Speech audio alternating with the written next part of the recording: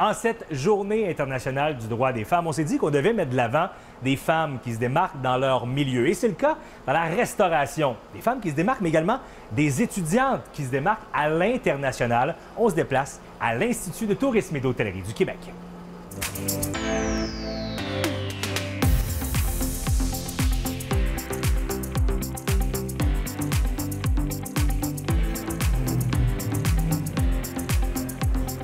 Karine, merci de nous accueillir à l'ITHQ en cette journée internationale du droit des femmes pour parler de la place des femmes dans le milieu de la restauration.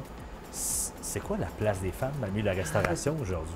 Mon Dieu, en ce moment, euh, elle est minime, mais je dois dire qu'elle est quand même plus grande qu'elle l'était avant. Mais encore aujourd'hui? Encore aujourd'hui.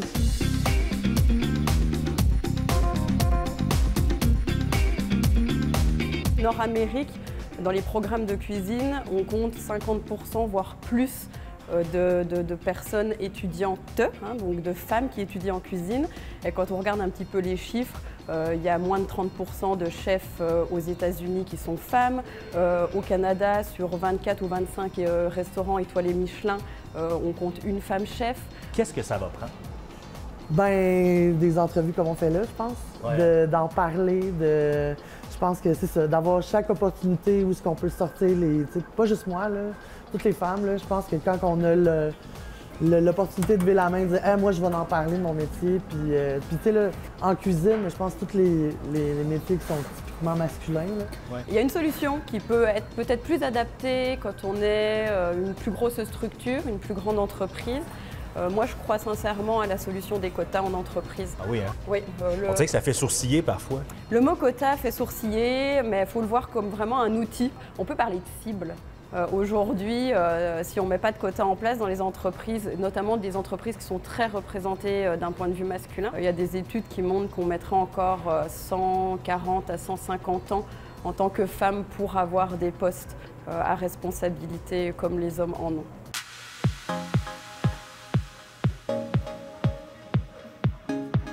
Parlons de ta brigade à toi en cuisine. Brigade 100% féminine? Le midi. Le midi? Oui, ouais, le midi, 100% féminin. C'est un heureux hasard. Hasard, C'est un hasard. Puis après, maintenant que ce hasard-là existe, ben, j'aime bien en parler parce que j'ai le dire si on veut que justement que la, place grandisse, ça, ben, c'est d'en parler.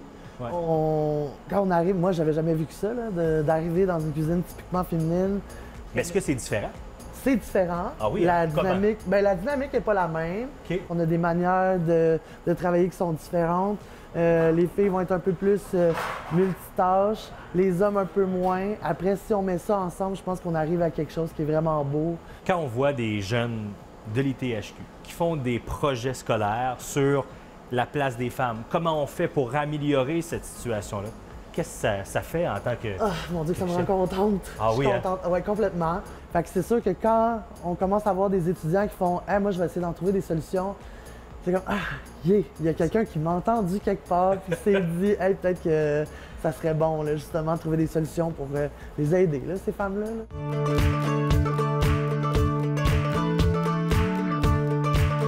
Alice, parlons de ton projet ensemble. C'est quoi ce projet? C'est un projet qui était euh, au départ donné par euh, le groupe hôtelier Hilton pour le concours Young Talent Awards.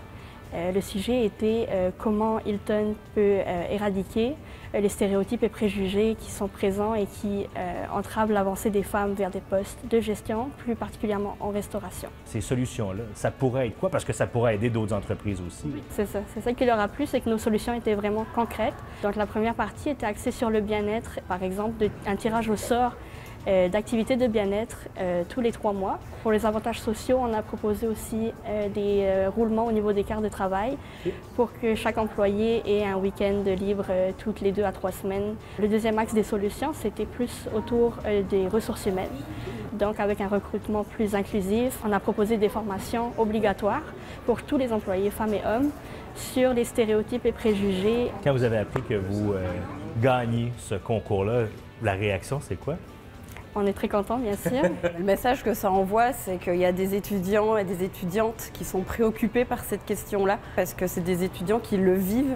Euh, on l'entend, euh, qu'ils vivent encore des- des- du sexisme au travail, des discriminations. C'est encourageant de voir des jeunes arriver avec des solutions comme ça. Ben complètement.